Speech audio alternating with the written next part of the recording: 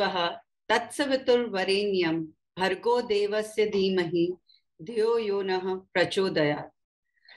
Welcome to the fifth episode of read along with pranks what better day than Saraswati Puja to have with us the author of Saraswati's gift Kavita Kane it is a star struck moment for me because I consider her my mentor when it comes to writing She is a revolution in Indian literature when she writes about mythological fiction.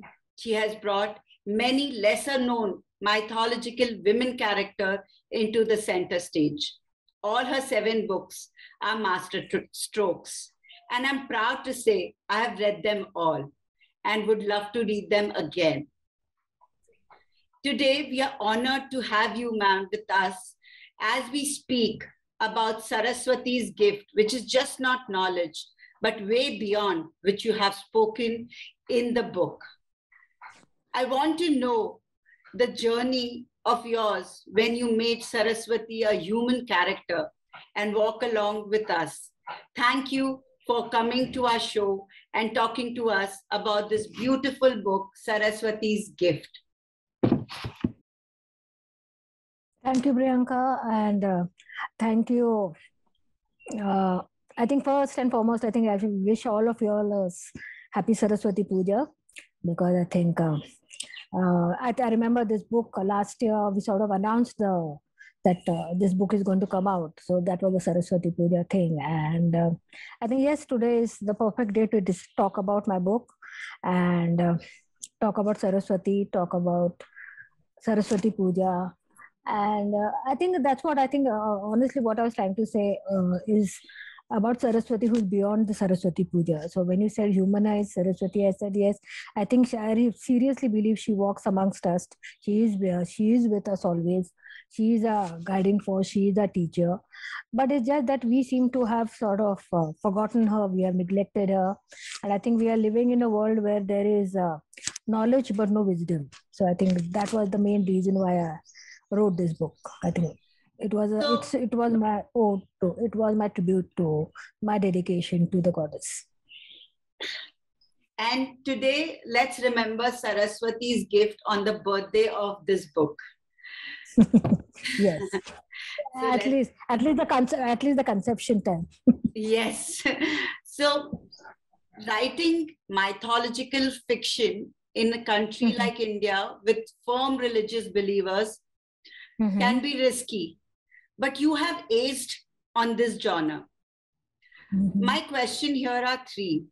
How does one put up their point without diluting the mythological essence or the story and still walking on that thin line?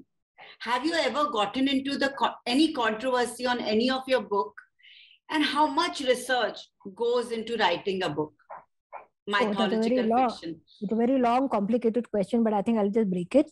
First yeah. and foremost, um, I think where you talked about, I think I believe uh, we underestimate our readers uh, because I think the readers definitely know the difference between facts, fiction, and uh, sensationalism. So I think when I'm writing this genre, uh, it's not being i'm being extra careful or anything but i think the readers do understand what i'm trying to say uh, i stick as much as i can to the fact of course there is fiction because i'm dramatizing certain events and episodes certain people certain characters. So there is a very um, large extent of dramatization.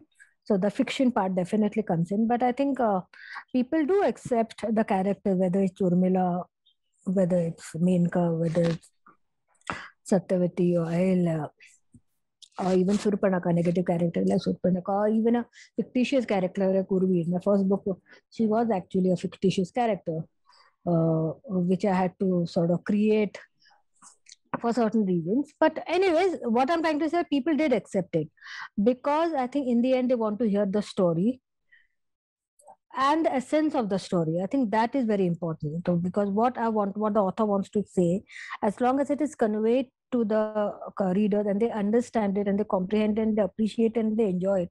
I think that is uh, that is what the whole uh, journey is about. You know the whole book is about it. so when it was saraswati the first time yes the first time i'd written about a goddess. So of course i was skeptical. But i wanted to show uh, uh, there is no question of uh, a i think saraswati i think is somehow somehow been sidelined. We don't know much about her. That is one thing. She is sort of a uh, marginalized goddess, if you say. We know more about Saraswati, we know more about Parvati and Lakshmi and Durga. So that was one reason. And uh, another reason is, I think, uh, uh I mean, this actually, this book is the most controversial, if you actually say, amongst all the six. Uh, no, I have not received any negative feedback. In the sense no i don't think there's no there's sort of a controversy or a negative feedback no because i think i was trying to show her beyond a goddess. Yes. She's much more than a goddess. I think i sort of she's a personification of certain human sen- uh, sentiments, certain human ambitions, certain human desires. So I think uh, that is why that is why goddesses are born. That is how goddesses are born because I think especially with us, we are not only making goddess uh, of a with, respect and worship the natural elements. We also uh, respect the spiritual. It's also it's uh, Saraswati is a completely on an abstract, intellectual, spiritual level. So I think if we could make her a goddess of knowledge, what does she embody? So I think that was very important. And uh, I think the reader understood it, what I wanted to say, uh, what I desperately wanted to say, because as I said, if I ever wanted to write about a goddess, I had decided that I would write on Saraswati. So even about the other books, if you're talking other characters, I think they have been uh, received pretty well. In fact, uh, I think Urmila and Urvi are extremely popular. Yes. Um, and uh, even princes of you know even even even uh, gray uh, gray shades like uh, uh, Menka or Surpanaka or even Satyavati, you know, they were. Then Ahilya again again was a, actually was a very controversial figure, but I think her point of view was very important for people to know. I mean, as she like for her, if you call her a devoted wife and then you call her a promiscuous woman, her entire yeah. how does the transformation happen? Or did the transformation happen, or was it as perceived by society? So you know all these uh, layers behind a certain episode or a certain event which we uh, which is cited in the epics so i think uh, no i think i have huge respect for the readers and uh, I think we really, we really do uh, under undervalue them, underestimate them. I think we have, we sort of insult the intelligence by saying that, uh, you know, they under that is why. And you're talking about mythofiction. Mythofiction has always been a part of uh, vernacular literature if you actually see. I think uh, so. I think coming back to your question, I'd uh, say no. I think uh, touchwood, touchwood. I think till now there has been no controversy. And how much research goes into making one book of mythological figures? Lots. I mean, the research is an ongoing thing. Lots. I mean, without research, you cannot. It's the foundation of your book. I mean, you cannot proceed. Uh, you can really cannot. Uh, I mean, the story idea comes from the research uh, many times because if, especially for the next book. So while doing research, I said, okay, this, this, I mean, sort of list out uh, possible uh, potential uh, protagonists.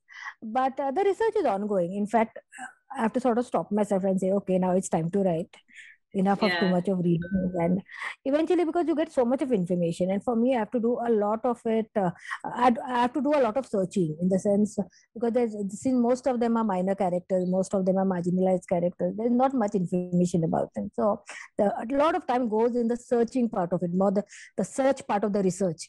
So once i get that information sometimes i get a lot of it uh, not about the character but about the bigger characters or the major characters. So sort of filtering that information and sort of uh, uh, trying to dot uh, you know join the dots and make it a rational narrative and make a story where especially with saraswati because saraswati stories are very rare very few and uh, whatever they are very assorted. So there's no chronological yeah. time of course. Yeah. So trying to collect them collate them and then uh, bring it uh, you know try to bring a certain rationality a certain believable and of course the whole time factor which uh, you know like uh, stories are jumping from uh, the creation of the uh, the world right up to Ramayana and then again coming back.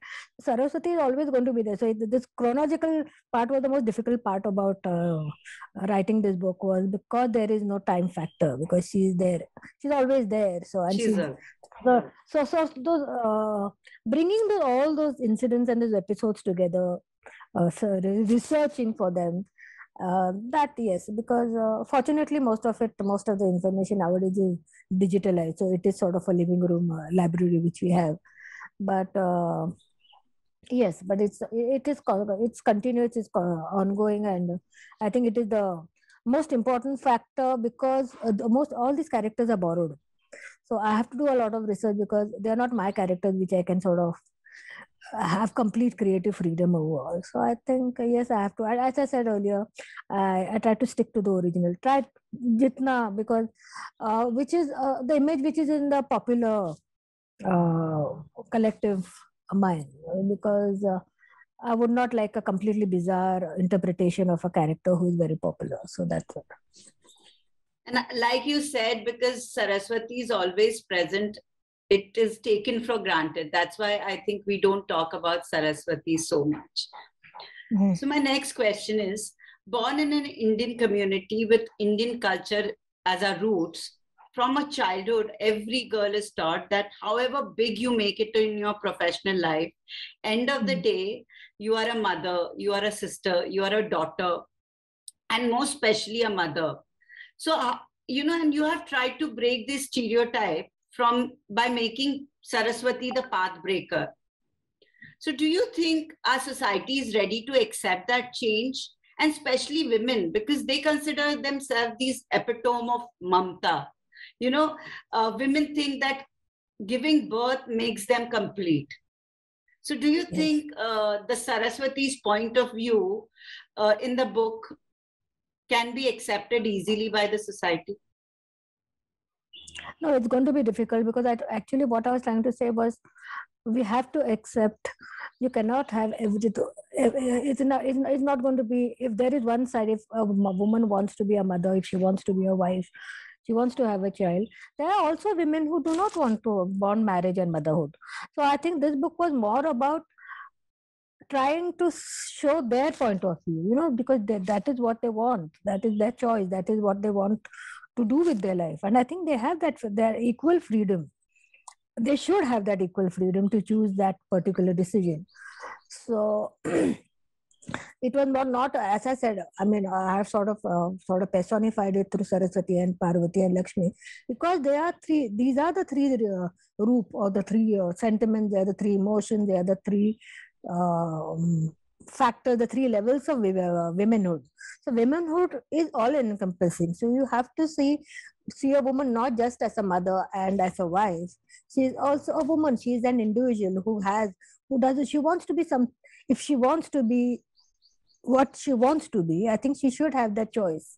That is very important. Whatever it could it could be a mother it could be a wife it could be uh, a career woman uh, both uh, having a i mean it is like uh, because i think women are sort of culturally influenced and they've been told to them to multitask. I mean it's like we say women multitask more than men because men have never been trained to do that. Yes. These girls have always been told to multitask. So i think we grow up in that environment. So it is like for us it is in one breath we can say oh i'm a sister i'm a mother i'm a wife i'm a daughter-in-law i'm a uh, you know sister-in-law uh, I'm, I'm a everything. And, um, and and and i have a professional life. I have an other life. Or whatever. So what i think this sort of thing comes very actually it comes very easily for a woman because she has already mentally accepted at a very early age that these are the different roles demanded out of her. So i think uh, yes it is uh, but i wanted to show actually it was not question of this versus that. It is not at all that i mean it, uh, it was just showing uh, another part of womanhood where she sort of discounts mother marriage and motherhood which is i think fair enough because i think uh, every woman i think that is what freedom individual freedom means as a human being where uh, his life his right to existence his right to his choices his right to freedom i think this is what is freedom where he has to be she has to be free to choose whatever she wants. I think that is what. So it is uh, the acceptance comes. It is again has very strong societal, familial, cultural connotations. Here I'm talking about a person now vis-a-vis now in a within a family within a community within a society then yes i think that a whole pressure comes on her but then i think she sort of uh, she is prepared for it and she uh, she is battling it out so to extend my question what i liked most about this book is that the women is not fighting to make a name in the man's world but she's standing up for her core nature you know, and through Saraswati or Lakshmi or Parvati, they are standing up for their core nature. So, what according to you is feminism? And do we need to fight a battle of feminism to be heard? See, I think that feminism, I think unfortunately the, the definition has been sort of distorted for whatever reason. But I think personally, I believe feminism, we live in a world of men and women we cannot discount the men it is yes. we have to live together i yes. mean the whole thing is when i'm talking about it is feminism is not reverse sexism it is not anti-male not at all because here it is a question of male and female giving the equal if there are two species in the human uh, race man and a woman if man has been given certain let's say cultural rights societal rights the same rights has to be given to a woman because she is the other part of the species 100%. She is other part of the community. She's a other part of the of your family. She's another half of uh, the world. So I think it's just about feminism. It's more that because the rights which have not been given to her over the centuries, over millennia. I think that is what she is. She's not even. She has to fight it. if She has to. If you say she has to fight it out because there is certain Mm, hostility there is a certain there is a lot of discrimination there is a lot of disadvantage he has been suffering. So i think there is definitely going to be a conflict. But i think men and women have to work at it. It is not about feminism and not just about women. It's about the men participating in it. If for a girl it when she's born it is right from the father to the brother to the husband to her partner to her uh, male uh, in-laws or they are all part of it. It is not about it's not about she and and of course and feminism is not about just about uh, i mean uh, even uh, women can be anti-feminist. So it is i mean the most uh, i think many women encounter that. So feminism is a thought. It, it is a certain ideology where you be where you respect you give an equal chance and opportunity to a woman as much as which she would give to a man. That is all. I mean it, it's a very it's a very egalitarian theory. Almost uh, it's almost an idealistic concept because of egalitarianism because egalitarian itself equality itself is a very idealistic concept. So it is an unequal uh, world a woman has been living in.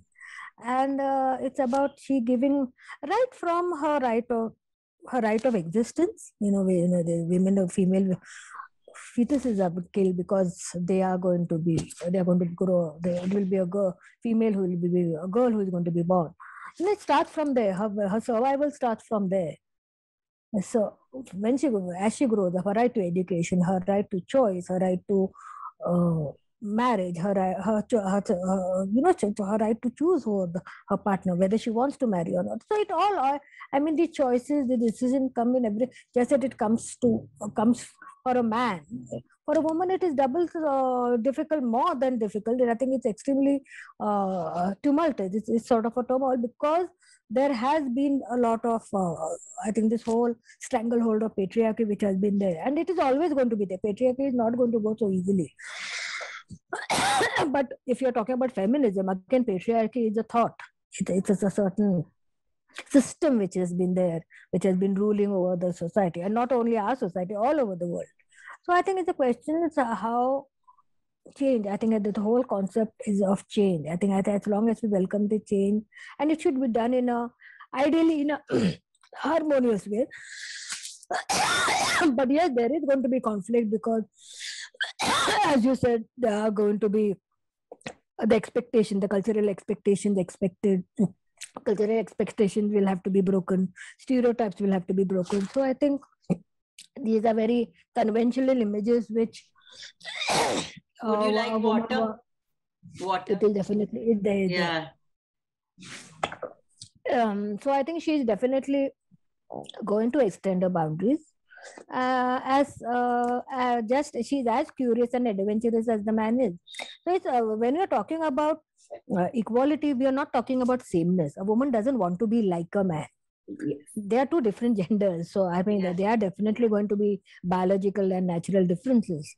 Uh, like the right to, you know, the she only a woman can give birth. Yes, which a man doesn't, and the fact that a woman is physically weak than a man. I mean that, that is why that I think honestly that is how he has ruled over the women all these years because of the physical strength. So I think these differences are going to be there. So this whole thing of woman wants to be like a man. No, I don't think a woman likes to be man. She just wants the chances and the opportunities given to him to give to be given to her. I think that's all what's actually what feminism is about. Because that has not been given to her. She has been deprived of it for so many, so many for ages down the ages. So I think it is just uh, it's it's an awakening, and it, it is definitely an awakening which uh, both have to accept it. Even the man has to accept it. So what Importantly, the man has to. So what I understood is feminism is working together. It's Yes. not about I'm taking It- your space. It's about or you are mutual. It, yes, it's about mutual respect. Yes. If a woman loves and uh, respects a man, the man also has to love and respect her. I think. I think respect comes higher than respect her as an individual. She's a human being. She's an individual. She's a person of her own, her own right. And I think that respect, that uh, uh, as you say, acknowledgement, that acceptance, uh, has somehow not. She has been deprived of. So beautifully said. So let's make a space equal for both with respect. Uh, you you know a lot of books have been written on the central characters from mythology like krishna shiva even vishnu uh, and even some women characters like draupadi and parvati. And you have given space to lesser women uh, known women characters from mythology. But do you think you would ever write or give space to lesser known men character from mythology like ashwathama balram eklavya Yeah. Uh, yeah, of course. They are, I mean, minor characters themselves are a genre in itself, in the sense, the importance of minor characters. Of course, they are. But I'm more interested in the female characters simply because I, seriously, because their stories have to be told. because that, uh, I think uh, a woman um, is, I think, I think men will also agree that they are more interesting, fascinating. uh, people. Uh, but more than that i think they are more layered because the stories uh, involve a lot of more drama. Uh, there is a lot of things which have been said a- which are unsaid which have not been told. So i think uh, the women have been not seen at all so I think only, the only reason I think Ashwathama and as you say, uh, Nakul and Sahadev and all these minor characters, even Bharat for that matter, in Ramayana, all the, so all these characters uh, are of course definitely interesting and uh, as it's fascinating. But the thing is, I write, I prefer writing about women only because of a I am a woman because I can sort of relate more quickly to them, and. Uh, also because i think their stories need to be told i honestly believe women should tell women's stories because uh, it's not about just supporting women supporting women. It's about, because these stories need to be told because they are our stories if you talk of, uh, there, if, if I'm, I'm telling the story of Urmila, I think people did identify with Urmila. I mean, there are modern Urmilas and Surpanakas and Menkas and Satyavatis and Ahilyas in our society. It's still there. We see it around us. yes So there are stories and they need to be told. I think that's that's the simple reason. I'm not denying they are yeah, more interested. Than the men could be so there are certain character male characters which are more interested, but we have been seeing these stories always through the male point of view. So I don't want to see that. I don't want to see that in the sense I have already seen it, acknowledged it, and I find the women more uh, their stories uh, have been hidden. They have been sort of the spotlight has to be on them. And I think uh, every book of yours, we find a part of us. Like as a woman, I'm saying that every book of yours has a part of a woman a woman can relate to and even men you know sometimes can really understand a true nature of women through your books so i think uh, what you said, rightly said is uh, women are more interesting because they have more uh, layers to open than men do. Yeah actually when you're talking about male character i find uh, writing about the male characters uh, uh, the, uh, more difficult in the sense uh, because they have been sidelined themselves. Like if you're talking about saraswati even brahma has been sidelined. We actually yes. see we don't even know. I mean brahma is sort of a old ancient man with his three heads. I mean we don't see him beyond that yeah i mean brahma is one of the most uh, underhated under unseen uh, undeciphered uh, sort of a god. What he symbolizes i mean if he's a he's a creator the concept of creation why did he create? You know this whole philosophy of creation then the relation between creation and creativity. I think all this is what brahma and saraswati is about. So i think uh, it was more difficult actually uh, the, the the other half of Saraswati, you know, Brahma, and we never see them as a couple. You know, that is the you see a Lakshmi Narayan, you see a Shiv Parvati, but you never see a Brahma Saraswati. So that was, why, why, why, why? And that was the most interesting part of the book when you talk about Brahma and Saraswati together, and Brahma so madly in love with Saraswati is uh, enlightenment for uh, for a reader because we have never heard about their story. Yes, because uh, that's what I said. Because Brahma himself is sort of have been has been sidelined. There has because of Vaishnavism and Shaivism, which are the two main uh, streams of. So I think there is no Brahma has never been worshipped. So I mean that is the curse, of course. Now the whole story that it is his wife's curse also. Yeah. So I think it's all very interesting. The relationship. It's uh, it's almost uh, a modern uh, relationship they have modern in the sense it is what a husband wife relationship usually is you know where yeah. there is love there is there is this whole struggle of love the concept of you know this and she is a woman of intelligence she's a she's a woman of her mind she she symbolizes the mind and he symbolizes the heart so the, the clash of the heart and the mind and then this whole thing of love with love comes disappointment also so the disappointments how you tackle that in a relationship how you tackle that in a marriage so all this is i think that is what all relationships about how what saraswati and brahma about. And this whole conflict and the togetherness if they are if it is if there is a marriage of the mind if, if that is so it also comes with its uh, own share of conflicts and uh, tension. So and what eventually happens. And as i said uh, it is about creation and creativity the the creator and the muse. So i think this whole relationship. I think both saraswati and brahma and I, again as i said at a very at a very abstract level what uh, intelligence the difference between intelligence education knowledge and wisdom all this is very fine. So i think we, we tend to take the sort of just take it all in one go that he's a very educated person but is he really educated? You know? He's yeah. got all the learning. Has he learned anything from it? So there comes the wisdom.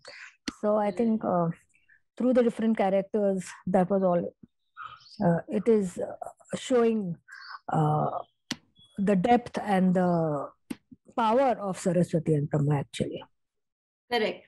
So another uh, question that I want to ask you, which is you have given a little bit of answer on that, is in the book you have made Saraswati where Saraswati rules the mind and Brahma mm. rules the heart.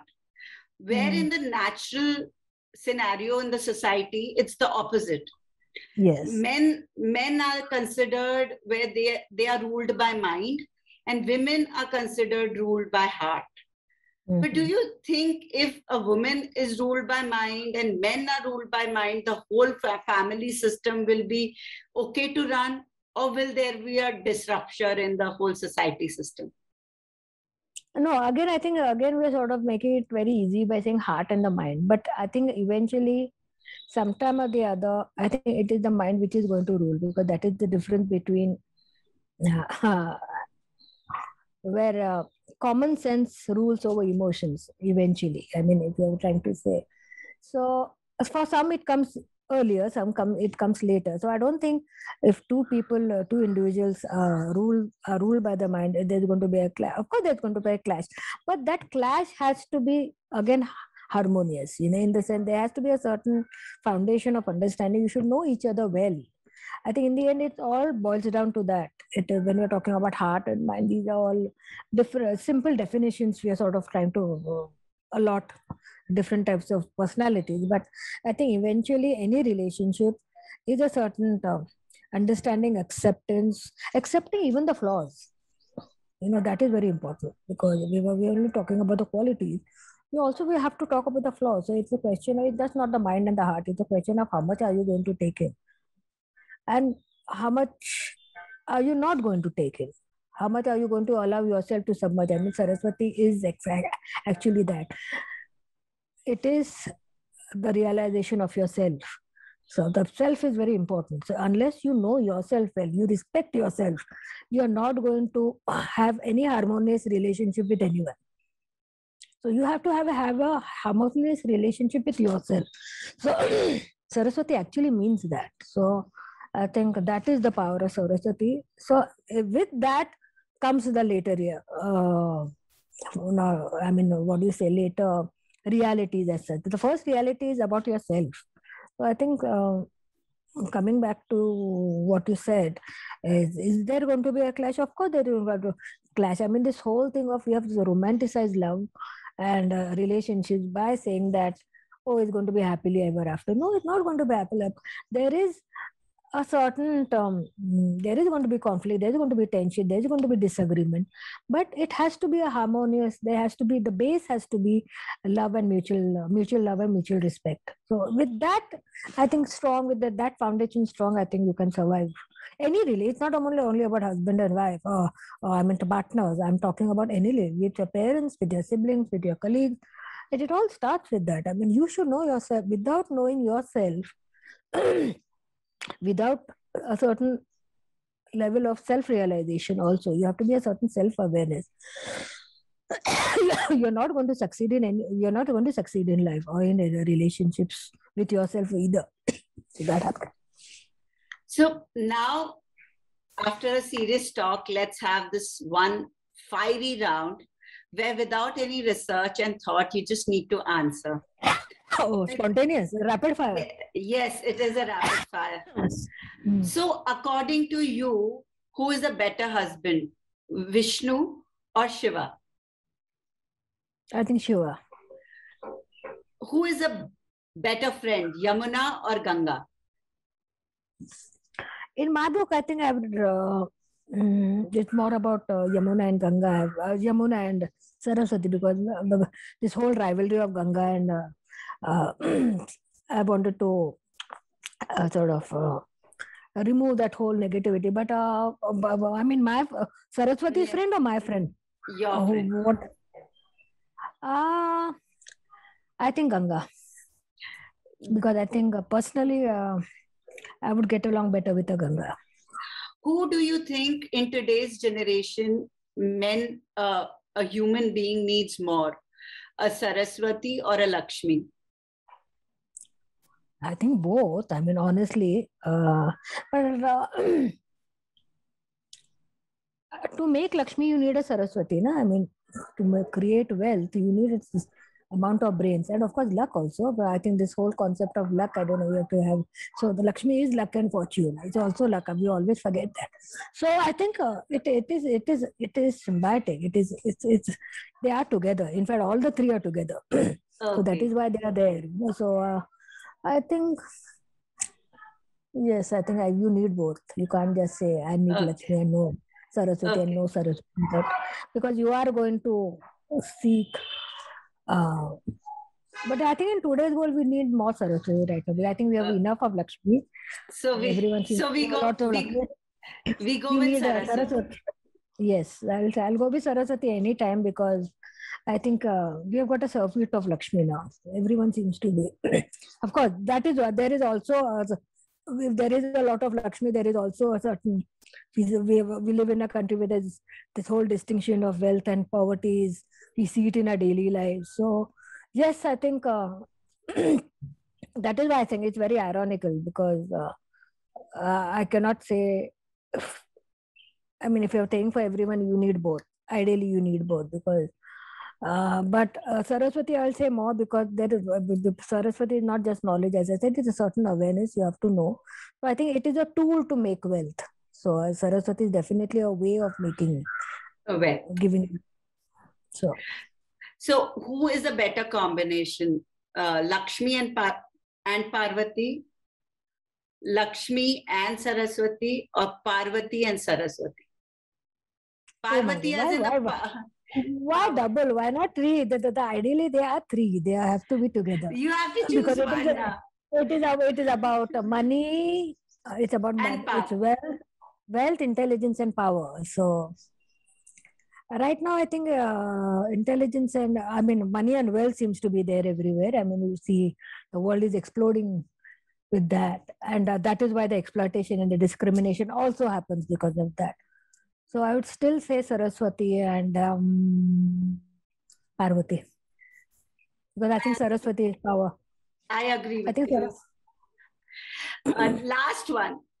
The next book of Kavita Kane is a character from Mahabharata, character from Ramayana, character from Hmm. Devlok. Mm, I think Ramayan again because I think I'm completely fascinated by Ramayan because I think we we just don't take it. Um, they fi- everyone find Mahabharata interesting, but I think Ramayana has not been.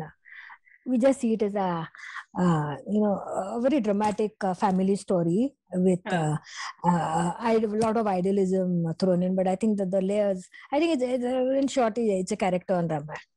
I think. So, so it's up for viewers to go pick up Ramayana and see which could be the next character that we are going to listen from Kavita Kane. I think all her books, whether it is Sita's sister, Menaka's Choice, Ahilya, all of them are great reads. And all of you must pick up the copies and read. But first, do go pick up Saraswati's gift. For her true gift is just not knowledge, but a knowledge that how what a woman stands for.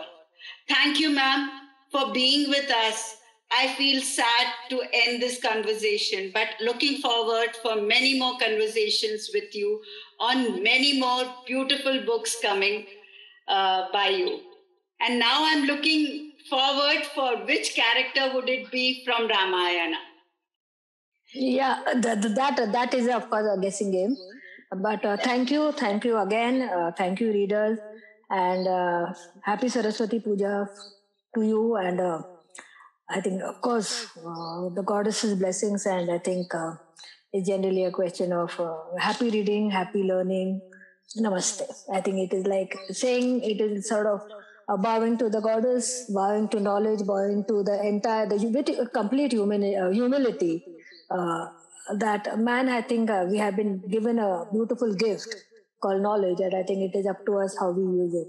Let's utilize it, and I think that is how we dedicate how we we are the true worshippers of knowledge and learning. Thank you, and again, a happy to Saraswati Puja. With all the gratitude in our hearts, I request you all to please like, share, subscribe, and comment to read along with pranks. And don't forget to pick up the copy of Saraswati's gift. With all gratitude, thank you so much, ma'am, for being with us. And thank you, viewers, for watching us till the end.